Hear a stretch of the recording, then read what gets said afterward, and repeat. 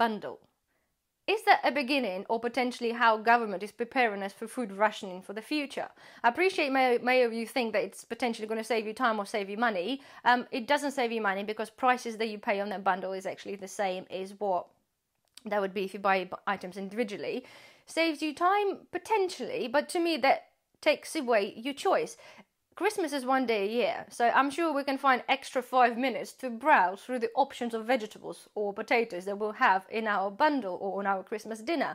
So it just got me thinking. It's just such a high possibility, in my opinion, that this is the way the rationing is going to happen. Somebody in the comments suggested before that prices increasing, obviously, of the products is a way of rationing because people generally then can't afford to buy, buy more more than they need to or genuinely can't afford to buy it at all. So thinking about it and seeing those bundles kind of definitely makes me think that this is how the things are going to go forward. So basically, say in a year's time down the line, um, or whatever time there may be, it's all you can buy is those bundles. Is the bundles that supermarkets or government make, say it's family of two or family of three, and here we go, you go to the supermarket or shopping online and the options are two, three or four people, meat or fish, vegetarian.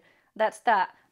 That's what you get, and this is what you pay, and you have no choice at all. So this is really, really scary for me. We're like, as a people will like things easy, but I'll have to have a choice, and I like to make my own choices. I don't want Asda to tell me that I have to put the Aunt Bessie's potatoes, you know, in my Christmas dinner and buy my frozen. They actually have frozen peas and corn is their Christmas dinner vegetable. Not being funny, but you know, do you really have a corn and peas as a Christmas with a dinner? No, you, I, I don't. Many people maybe do, but um, forgive me, but I just not something that traditionally people have with a roast dinner. So anyway, the thought is there, and it got me thinking. So maybe um, just think about it, and I would like to know, guys, what you think to do with.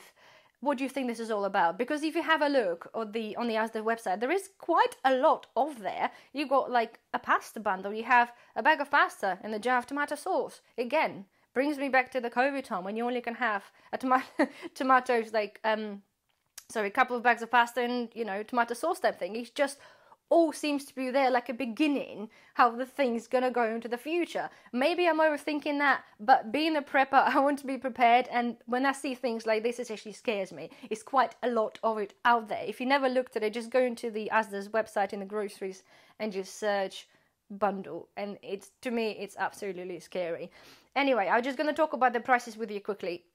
The bundle, as I said, has gone up to a £29. So you have a turkey, oh no, I just said the vegetables. I compare the prices to a Lidl prices. You can buy a turkey in Lidl for £16.99. Asda turkey was £18.50, and it said that 8 to 10 people, I think, said on it, but it was only 2.4 kilos. Yes, it was a turkey crown. So in Lidl, um, the turkey you pay for 16.99 is actually 2.8 kilos to three and a half kilos. And yes, it's not a turkey crown, but believe it or not, turkey crown is actually even cheaper. So I, for some reason, counted the price of 16.99 into this example. But anyway, this even cheaper, so even more money be saved. Like the Yorkshire puddings, right? They again, they give you Aunt Bessie's. They give you the most expensive thing, and they are at one pound fifty, and I think it's only like six of them there when you have a Christmas dinner, you have family get together, you generally will have more than six Yorkshire puddings. So you'll probably end up having a couple of packets that make you three pounds. Oh, hold on a minute, but but the bundle they only gives you one, so you still have to go and get some more anyway. So up comparing the prices to Lidl, Lidl do um, 15 Yorkshires for 50p. So here we are, it's more like it. The same is with the frozen peas and corn. So £2.25, or you buy frozen vegetables in Lidl at 95p. But we all know in UK here around Christmas time, they're doing a bag of vegetables. Well, last year were 29p, and I think for a couple of years in trot they were 29p.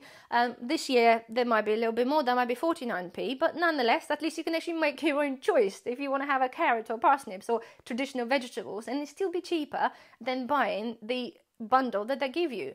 And bearing in mind as well, the turkey is not going to be delivered like now you can't have it now it has to be from the 19th and if many of you might have uh, remembered the last year there was absolutely huge issues with the turkeys because people ordered turkeys and they never got them or they've got chickens instead because they ran out of turkeys or they had the wrong sizing. So to me i wouldn't trust the bundle. I wouldn't trust the fact that i even get my turkey. So why would i want to risk that? I might as well just go myself and pick my turkey from whatever you choose to to buy your turkey and have it there ready for Christmas Day, knowing you're actually going to have it.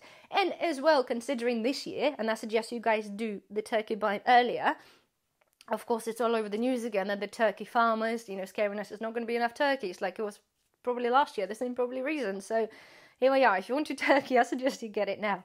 Um. Anyway, sorry guys, I'm rambling on, but solely my opinion, right? But normally I think I have like a woman intuition. I normally feel what's coming, and I told you that before. Again, I don't want to scare you. I just want you to think. Just think for yourself and just what do you think of that? Anyway, I would like you guys to comment below your thoughts on why do you think potentially as they're doing that, and just please comment your thoughts. Anyway, I hopefully you enjoy the video, and I'll see you very soon again. Bye bye.